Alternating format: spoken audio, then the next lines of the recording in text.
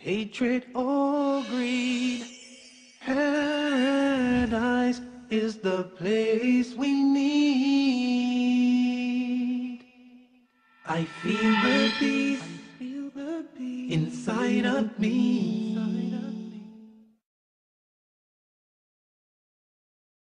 Greetings and peace. This is Dr. Laurence Brown welcoming you back to another episode of Interfaith Issues, where we discuss the issues of common interest to the three monotheistic Abrahamic faiths of Judaism, Christianity, and Islam. Uh, I am going to be discussing today something that is a very big change from what I have done in the past. Something I think you will find more fun, more enjoyable, and I hope that it will be mind broadening. What I'm going to be discussing is my latest book, The Eighth Scroll. This is the book, and I have recently completed a series of radio interviews in America in which one of the very first questions I was asked regarding this book was a question I think a lot of people are interested to hear the answer to, and that is simply why I wrote this book. The reason I wrote the Eighth Scroll is because, in simple terms, it was simply a slam dunk of an action adventure novel. I think I am like many people. All of my life, I have been reading action adventure novels, and I've been thinking, how did this author get the idea for that plot and bring it all together? And I've always been looking for something that I felt I could write about in the same way. Well, I found it. I found it in the Dead Sea Scrolls and in the Palestinian-Israeli conflict.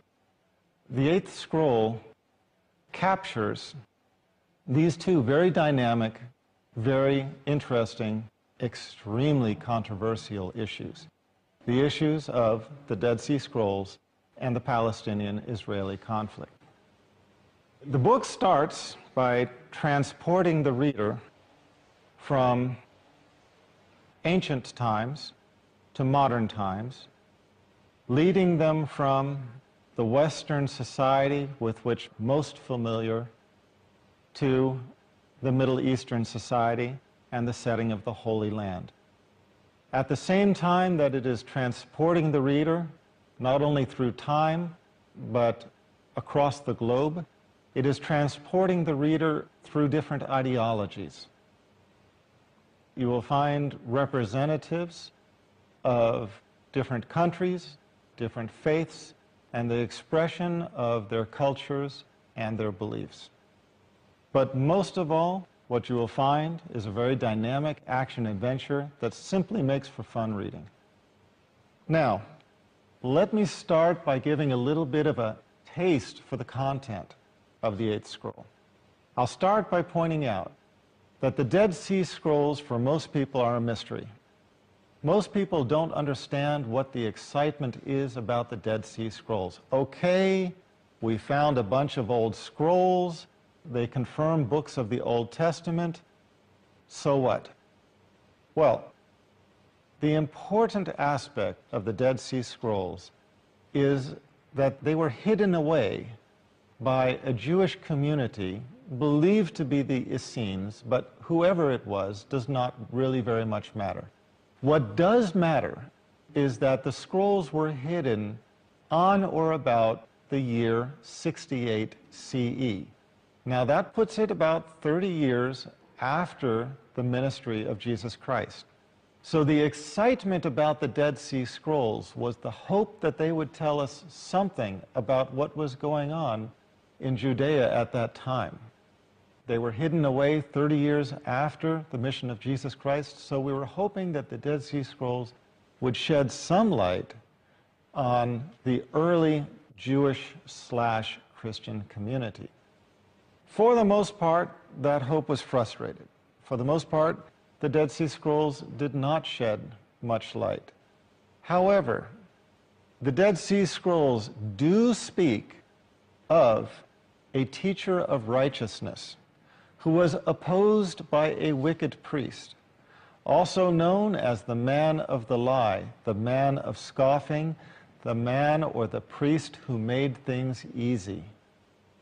In other words, a priest who took the restrictions of Old Testament law and made things easy.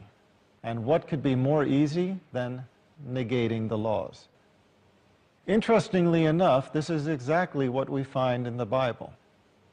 In the New Testament, we find, in the book of Matthew, we find Jesus Christ having said, Do not think that I have come to change the law, I have not come but to fulfill. Well, Paul then took a very opposite stance. Paul basically denied the law. We find in present day that more Christians are following Paul than they are following the teachings of Rabbi Jesus, an Old Testament Jew who taught and followed himself Old Testament law. The point being that there is very good evidence to suggest that the wicked priest, the priest who made things easy, referenced in the Dead Sea Scrolls, could be Paul. And the teacher of righteousness might be Jesus. So, whether the teacher of righteousness was Jesus, James, or another of his disciples, somebody carrying on his teachings of righteousness, whether or not Paul was the wicked priest mentioned in the Dead Sea Scrolls, this is a very dynamic issue. But we have to consider some of the light that scholars have shed on, on this issue. The Dead Sea Scrolls Deception by Michael Baigent and Richard Leigh states the following, quote, Paul is in effect the first Christian heretic Strong words. Paul is, in effect, the first Christian heretic, and his teachings, which became or which become the foundation of later Christianity, are a flagrant deviation from the original or pure form extolled by the leadership. That is the book, The Dead Sea Scrolls Deception, their comment on this very issue. It has been pointed out that other scholars in the field believe that the Damascus document, one of the Dead Sea Scrolls, appears to document the excommunication of Paul from the early Christian community. Now, this is not a big surprise to scholars in the field who recognize the animosity between Paul and James, between Paul and Peter, between Paul and Barnabas. It is well documented in the New Testament that the disciples were in opposition to Paul. Read James. We find James condemning Paul in the strongest of terms in the language of that time and telling him to repent, which he does not completely succeed at doing. So these are huge controversies, but what we find is we find that this controversy, it threatens our lives, it threatens our religions, it threatens our salvation. So this, this is something to take seriously. Let me read you a quote from the Dead Sea Scrolls. Quote, This concerns those who were unfaithful together with the liar, in that they did not listen to the word received by the teacher of righteousness from the mouth of God. The Damascus document, one of the Dead Sea Scrolls, reveals that the teacher of righteousness claimed to be the one through whom God would convey, quote, the hidden things in which Israel had gone astray. Was this not Jesus' declared purpose? His reason for being? Was it not Jesus Christ who stated, quote, He was not sent but to the lost sheep of the house of Israel? And we find in the Dead Sea Scrolls saying, in very similar language, that the teacher of righteousness would convey the Word of God, conveying, quote, the hidden things in which Israel had gone astray. So, the eighth scroll places the reader smack dab in the middle of this controversy. At the same time, because the setting is the Holy Land, smack dab in the middle of the Palestinian Israeli conflict. And yet, it does it in the context of a fun read, an action adventure. Why? Let's face it. A lot of books have been written on this subject, a lot of scholarly books, a lot of dry, extremely scholarly, put you to sleep kind of books. I didn't want to write that. I wanted to write a dynamic book that people would read for the fun, for the thrill, for the action, for the adventure of the book. Let me put you in the scene of the time, in the time of 68 CE. According to our Bibles, John the Baptist was imprisoned and beheaded around 34 CE. Following this, Jesus Christ started his ministry, which lasted for three years. Upon the conclusion of his ministry, the Romans hunted down his disciples and killed them. Those who were not killed, those who were able to escape, disappeared from the historical record. And I am just getting into a hint of how interesting this gets. But it's time to take a break. Stick with us. We'll be back in just a few minutes. I feel the peace, I feel the peace inside of me. I feel the peace, I feel the peace inside of me. Welcome back. This is Dr. Laurence Brown. We're discussing in this issue the Dead Sea Scrolls, my book upon the subject, The Eighth Scroll, which can be found on Amazon.com and on my website. No surprise to anybody, eighthscroll.com. I was starting to lay down some of the history to describe the setting of the book, and I will continue. The main voice that came out of this period was not the voice of one of the disciples, but rather the voice of one of the hunters. Paul, also known as Saul of Tarsus, but better known as the, quote, Apostle Paul, was a Pharisee. He was a member of the Jewish priestly class that Jesus Christ condemned. And yet, he was the main voice to have risen during this period as an expression of his view of Christianity. On the basis of Paul's alleged vision and alleged conversion, he set about conveying his view of Jesus' teachings. Nonetheless, the Romans eventually caught up with Paul, imprisoned him around 61 CE. Notice we're getting closer to 68 CE, which is when the story of the eighth scroll starts. We presume that the Romans executed him. This has never been proven, but that is the story most commonly told. Now, None of this history makes the year 68 any more interesting than the year 60 or the year 55.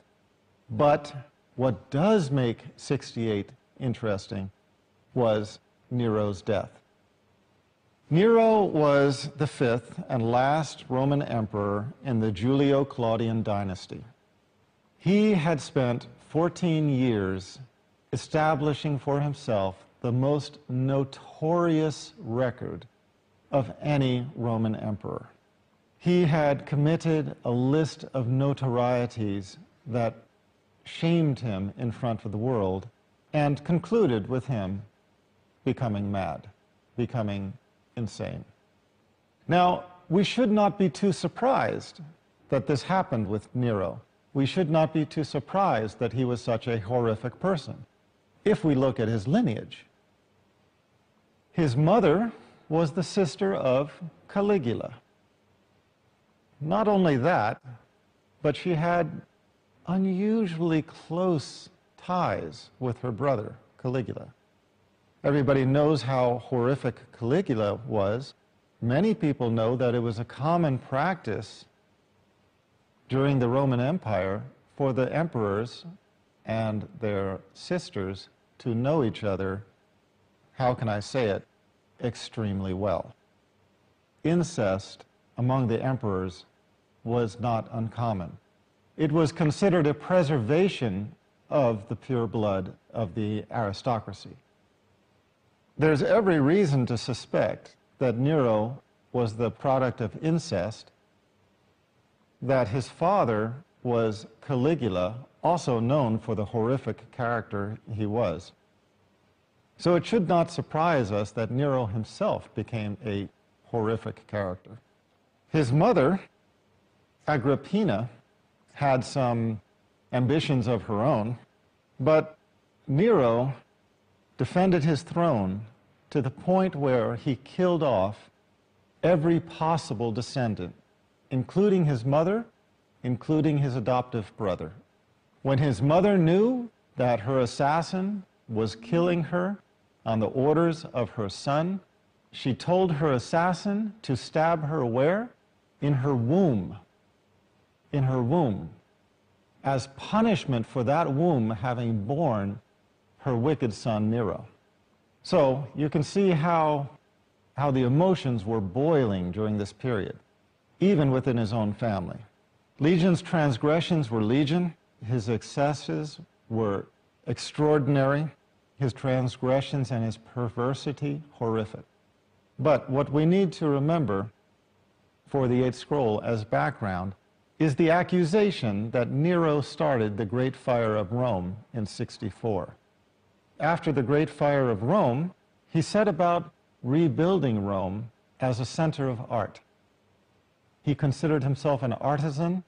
He wanted Rome to be a showplace of art. This was no inexpensive project, and he exhausted, he exhausted the treasury and started looking for money wherever he could find it. One of the places he could find it was the treasury of the Holy Temple in Jerusalem. And he sent orders to his representative in Jerusalem to take from the treasure in the temple. Well, the Jews had been under Roman rule. They had been oppressed, they had been terrorized, but taking from the treasure of, of their temple was the final straw. In 66, the Jews revolted, and they started the Jewish rebellion against Roman rule. The Jewish rebellion lasted from 66 until 70, when the Jewish temple was destroyed and Jerusalem was taken over by the Romans. And it even continued after that until the year 73, which is when the infamous Battle of Masada occurred. For most historians, they place the battle from 66 to 70. Now we're right in the period of 68, when the story starts. What happened in this period was that Nero sent Vespasian, a battle hardened general, to sweep through the Holy Land and subjugate it. And that's exactly what he did. Every town he came upon, he demanded their submission to the Roman Empire, and if they did not submit, he destroyed them utterly. Killed the men, raped and subjugated the women, imprisoned them along with their children, and sold them as slaves. Cut down all of the fruit bearing trees, burned the village and the crops, and sowed salt into the fields so that they could not bear a crop again. Utterly destroyed. Utterly destroyed any population who would not submit. And one of the populations that was destroyed were the keepers of the Dead Sea Scrolls. Now, we can only speculate as to what happened in this time, but it appears that at least some of the scrolls were hidden away in the caves close to the area in which this Jewish community lived.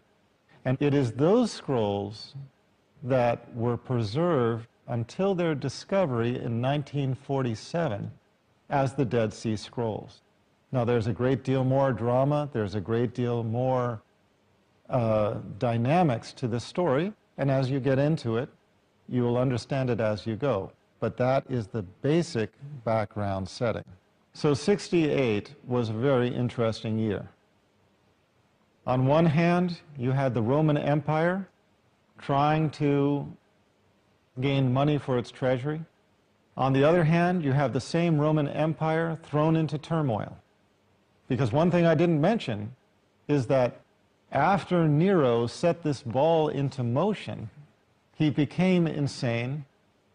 He was thrown out and he lost his position as emperor and committed suicide. This threw the Roman Empire into upheaval.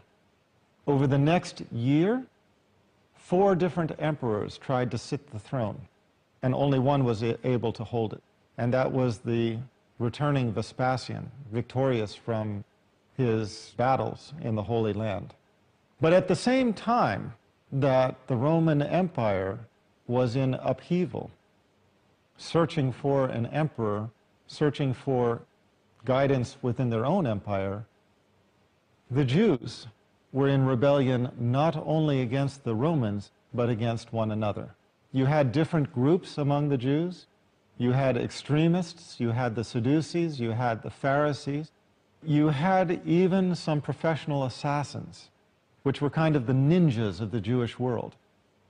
And these actions were working against one another, trying to develop a supremacy within the Jewish population.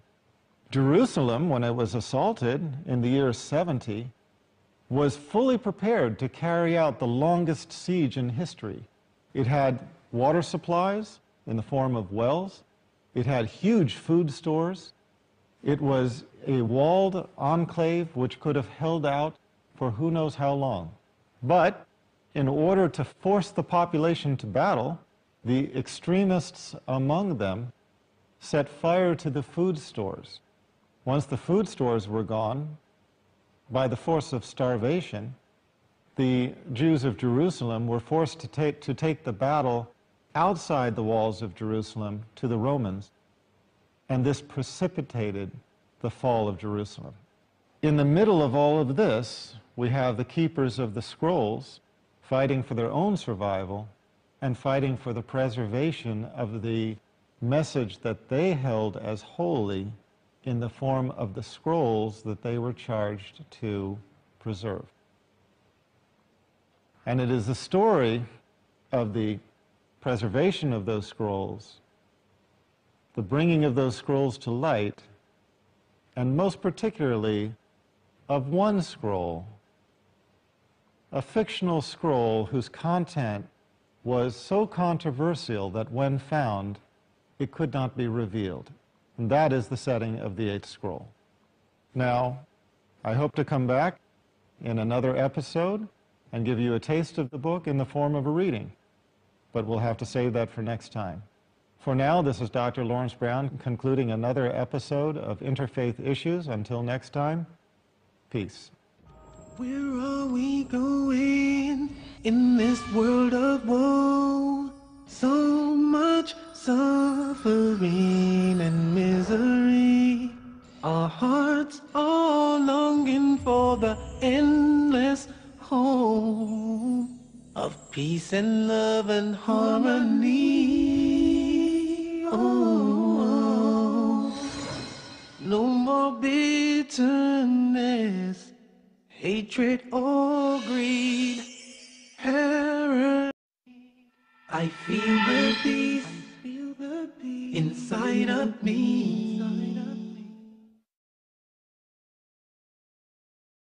This is Dr. Laurence Brown with another episode of Interfaith Issues.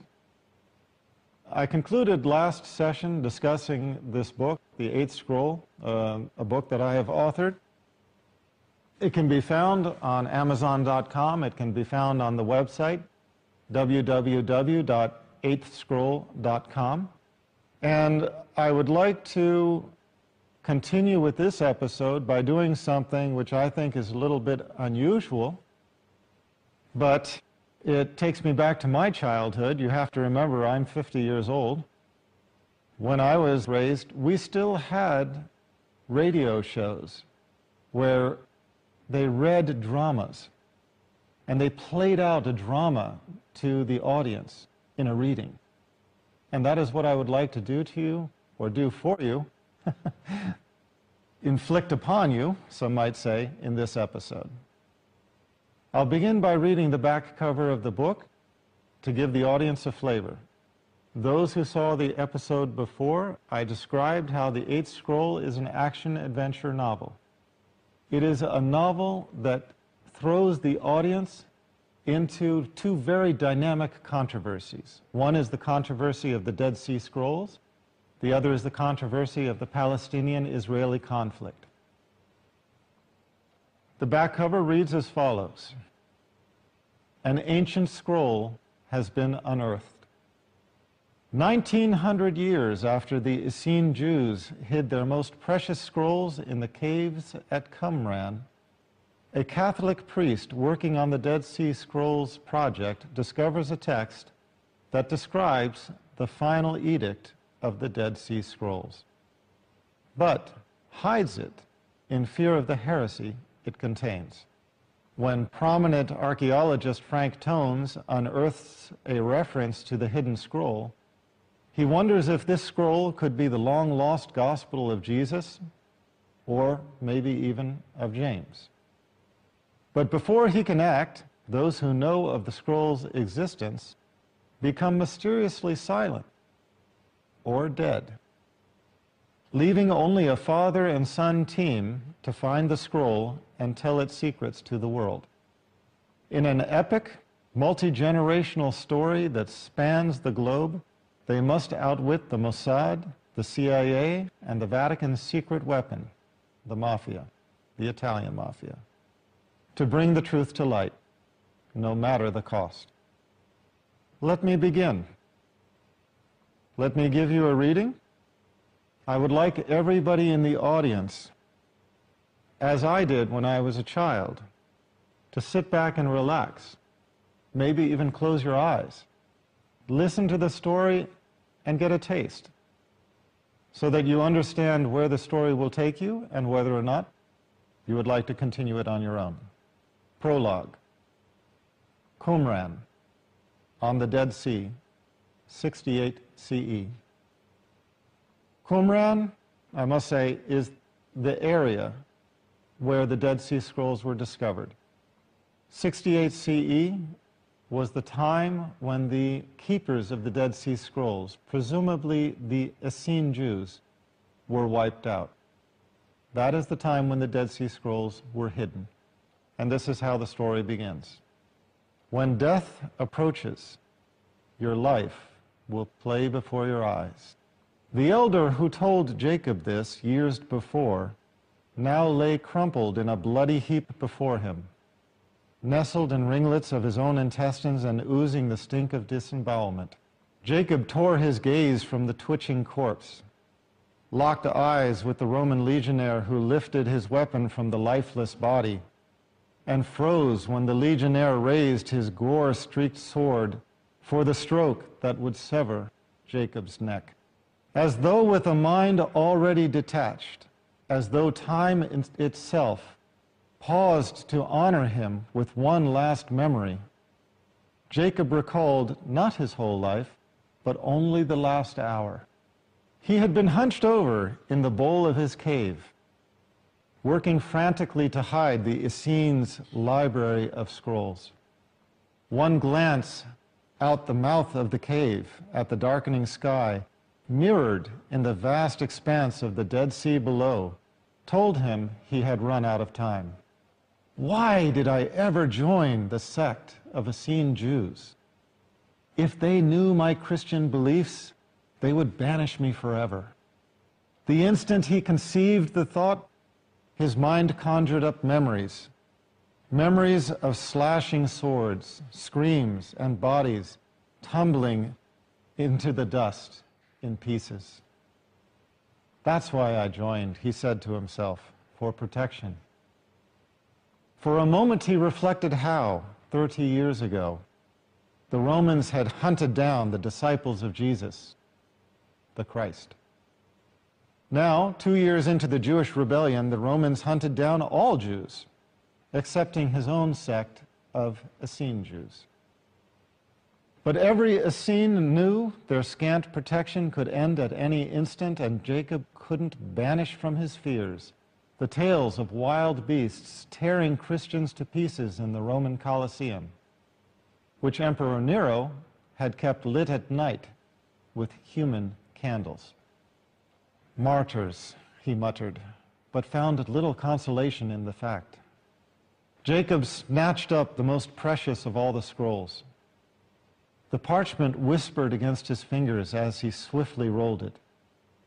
Despite his reverence for the scripture, his hands shook, and he splattered hot wax as he dripped it from his candle to seal the free edge of the scroll. He forced himself to draw deep breaths of the musty cave air until his hands steadied, and then stamped the petals of fast cooling wax with the Roman captain's signet ring. Then he applied a linen wrap and sealed the free edge of the wrap as well. He shoved the scroll into an exquisite limestone jar, but then froze. Gently, he placed the jar on the floor of the cave, grabbed handfuls of his shoulder length hair close to his scalp with both hands and rocked himself until he felt his nerves still. Calm down, he told himself. Just calm down. Slower now, Jacob removed the scroll from the jar, checked it for damage, and gently slid it back into the jar. Then he fitted the lid with a sandy rasp, picked up his sputtering candle, and poured a ribbon of molten wax into the seam. After he sealed the jar closed, but before the wax had a chance to cool, his Essene brothers arrived. Jacob jumped up and wrestled three earthenware jars, each half the height of a man and filled with scrolls, to the cave entrance. He stumbled in his haste and nearly dropped one jar. The rough pottery slipped in his fingers, but he caught it in time. It bumped the floor of the cave, but didn't break. The brothers heaved the jars into their arms, cast Jacob a worried glance, and then hurried off to hide the jars in distant caves. Jacob returned to the cubit long limestone jar sized for a single scroll and applied the captain's ring to the cooling wax around the lid. Why had the captain ordered him to hide the scrolls? Jacob had heard the rumors, of course. Roman legionnaires with Jewish sensitivities, or Christian Jewish in everything but name. Romans who tormented the followers of Jesus the Christ by day and then prayed for forgiveness to the God Jesus had spoken of at night. He had heard such men existed, but had never met one until the captain of the legionnaires. Jacob buried the limestone jar in the mountain of parchment sheets stacked in the center of the cavern. He said a quick prayer sweat streaming from beneath his arms as he raised his quivering hands to the heavens and then bolted from the cave. The barren Judean desert seemed drawn closer to the heavens by the crimson ceiling of sunset, but Jacob had no time to enjoy the view. With practiced speed, he picked his way across the ridge of land that led to the complex passing groups of legionnaires as they lounged on the terrace, their weapons ever near at hand. He feigned calm when he visited the captain in his quarters, but once he had returned the captain's signet ring, he rushed toward the dining hall's welcoming glow and the voices of his milling brethren, his fears flailing about in his mind. By the doorway and to the right, the captain had instructed. Why? Jacob wondered. Even as he entered the dining hall and sat as bidden, that why haunted him during the conversation and dinner that followed. Midway through the meal, and fighting the quivering weakness in his legs, he made to stand when the doorway filled with the bulk of, of a Roman legionnaire. His sword, naked, in his hand. Like shadows in an unfocused nightmare, Jacob could barely make out the mass of forms behind the soldier. He cast a glance at the only other exit. it too was filled with a clot of legionnaires. He scanned the room to find his brothers frozen, their food and drink suspended midway to their mouths. The Roman captain shouldered his way into the chamber and shouted, Stay sitting! The words caught a few brothers as they rose, and they lowered back to their seats while the captain repeated his command, this time more gently, as if to reassure a child. A child about to be slaughtered, Jacob realized. The captain let his eyes rest on Jacob a split second longer than on the others. Then he said, I have been ordered to kill anyone who refuses to swear loyalty to the Roman Empire. So that's it, Jacob thought. That's why the captain wanted the scrolls hidden. Until now, the captain continued, your protector, Agrippa II, has never demanded an oath of allegiance. That has changed. With the rebellion of your people, an oath is demanded. And now it's time for a break. So we'll be back in just a few minutes. I feel the peace. Welcome back. This is Dr. Laurence Brown continuing with this episode of Interfaith Issues. In this episode, I am reading from my novel, The Eighth Scroll, and I will continue from where I left off. The Roman legionnaire captain is stating as follows. Until now, your protector, Agrippa II, has never demanded an oath of allegiance. That has changed. With the rebellion of your people, an oath is demanded. Our hands are empty, and you know it, one of the Essenes said. We have no weapons. How are we a threat to you? My orders are absolute, the captain replied. You swear allegiance or die. Who is first? One of the brethren stood and strode toward the captain, a short, squat man of timid demeanor. Jacob knew this man only but slightly. The lead soldier stepped between the two and met the Essene's chest with the tip of his sword.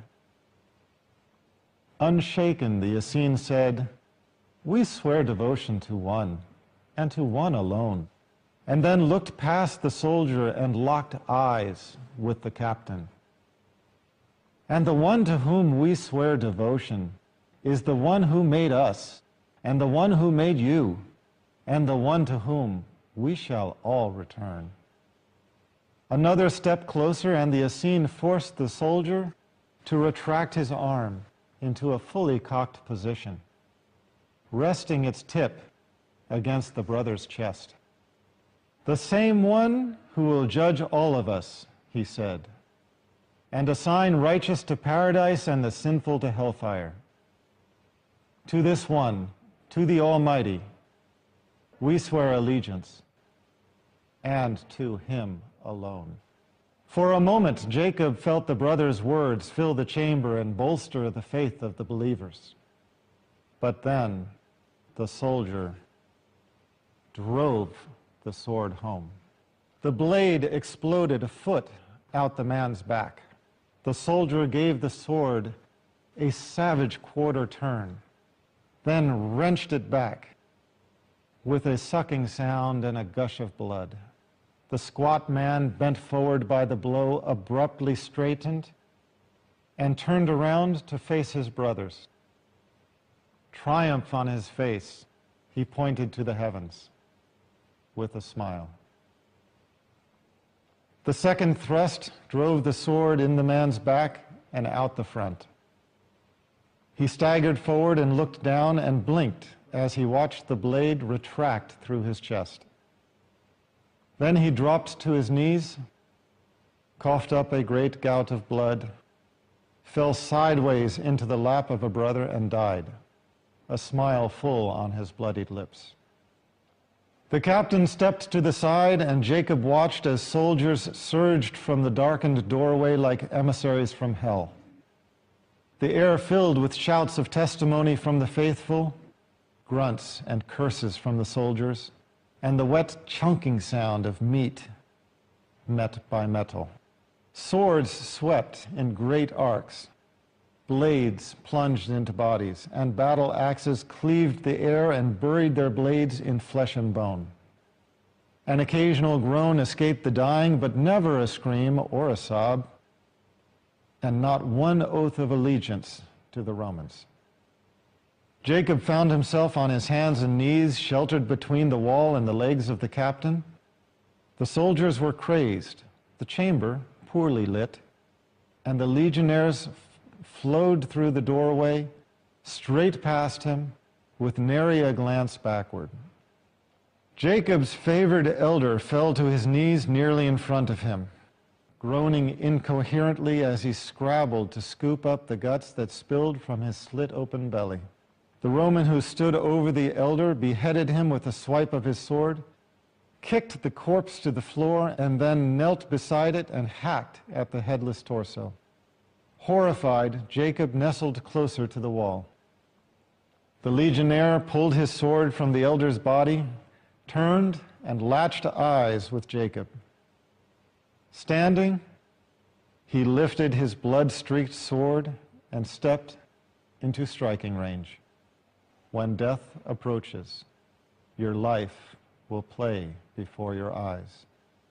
Jacob's mind snapped back when the captain whirled, jerked Jacob to his feet, and pinned him against the cold stone wall, waving the soldier away. To Jacob, the captain whispered harshly. Jacob jerked his eyes back to the captain's face, a grim, taut mask, with eyes that betrayed only the barest twinkle. He gasped a breath in two quick stutters and yelled, I swear allegiance. I swear allegiance. Soldiers turned from their kills and snickered, unaware of the props behind the play.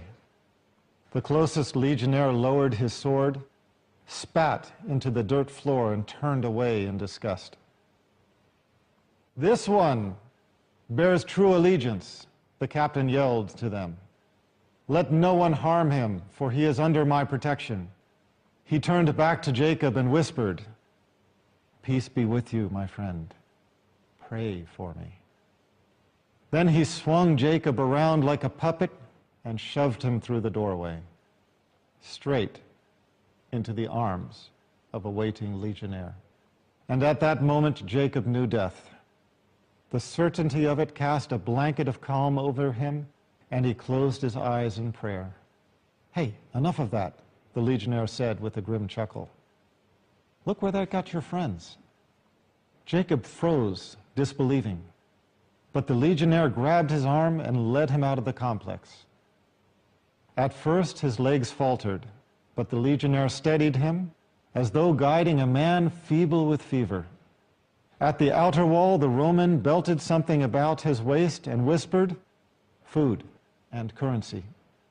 Jacob's fear weakened legs nearly buckled when the legionnaire draped a full water skin over his shoulders, but he straightened immediately when he felt a ring slipped onto his finger. Captain changed his mind, the soldier said. He said, You'll be needing this more than he. Now listen carefully. If anyone stops you, show him the ring. That will guarantee you safe passage. Next, use your water sparingly. It must last you until you find safety. You can't go to Jerusalem. That would be suicide. So take the trade route opposite. And stay away from here until this is over. And Jacob, and Jacob, may God be with you. Jacob swallowed hard with a throat sucked dry by fear. So it was true. There were friends, albeit the most hypocritical kind, in the ranks of the Romans. But there was no time for talk, and the legionnaire gave him a push start backward into the darkness and drew his sword. Jacob stood numbly and watched, helpless as a lamb before the slaughter, but the soldier only winked and disappeared back into the complex. For a moment, Jacob stood rooted to the spot, but then the demons of his fears spun him around and chased him into the night. This is only the beginning of the eighth scroll. From here, the book transports the audience into modern day. As I said before, this book will take the audience from their lounge chairs in America to a lounge chair in England, where the story continues. From there, on to the Holy Land. It will transport the reader around the world and through time. It will transport the reader into the heart of the controversies over the Dead Sea Scrolls, over the Palestinian-Israeli conflict, and over the differences between the Jewish, Christian, and Islamic religions.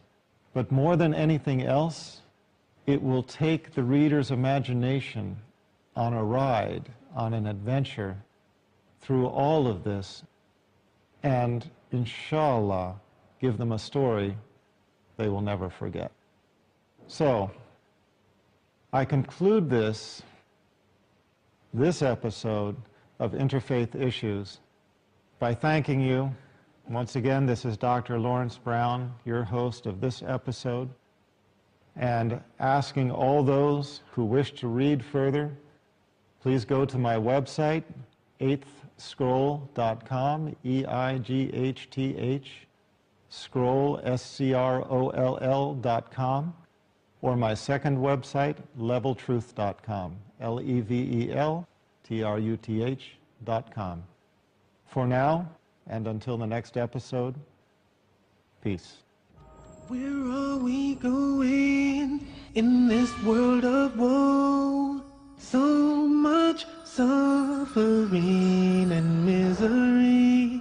Our hearts are longing for the endless home of peace and love and harmony.